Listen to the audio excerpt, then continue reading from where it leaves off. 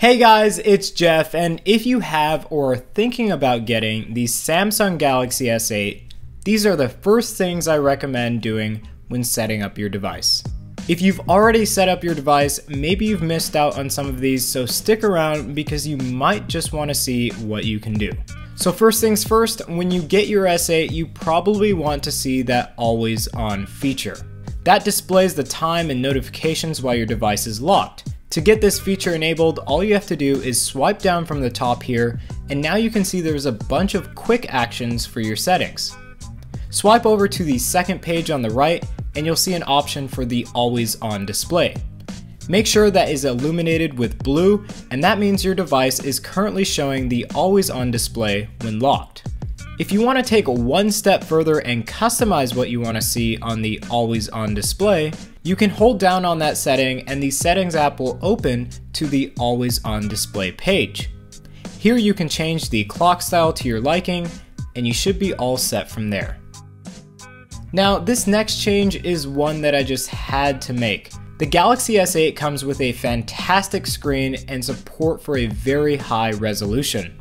But for some odd reason, Samsung didn't make the highest resolution the default setting.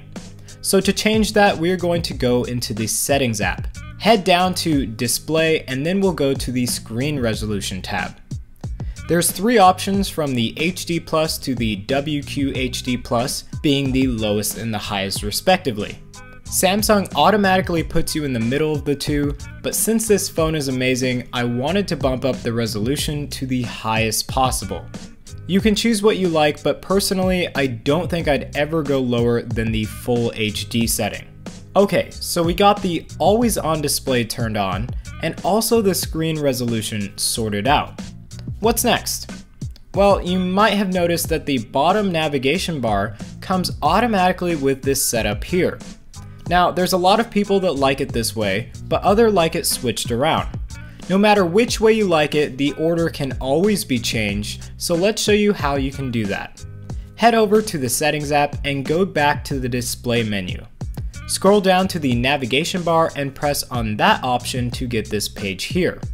Now, as you can see here, you have a ton of options with the navigation bar. But if you want to change the order of the buttons, select this button layout here.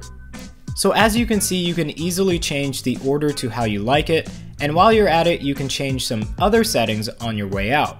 So let's move on to protecting your device. Obviously with the S8, you have a lot of options as far as security goes. So let's set up two methods of protection so that your device is properly secured. To do this, we need to go back to, you guessed it, the Settings app.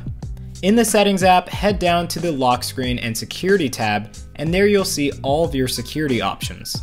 Before you do anything, you'll need to set up a PIN number, so go ahead and set that up, and once you're done, come back to this page. We'll do the fingerprint scanner, which is really simple and of course is a very secure option. Just go throughout the steps to set up that fingerprint and make sure to follow the on-screen directions for the best results. After that setup, you can choose some other methods as well, but I won't go over each and every one. I will tell you though that the only other option that I would recommend is the iris scanning. Face detection doesn't seem to work all too well, so iris scanning seems to be the way to go. It's fast and is extremely accurate, so I would definitely recommend that setting to everyone. Okay, so we've got four things for you to do, let's end it with a fifth option. One thing that you'll notice on your screen is this Edge menu. Now, I've got mine set up already, but it's really easy to manage.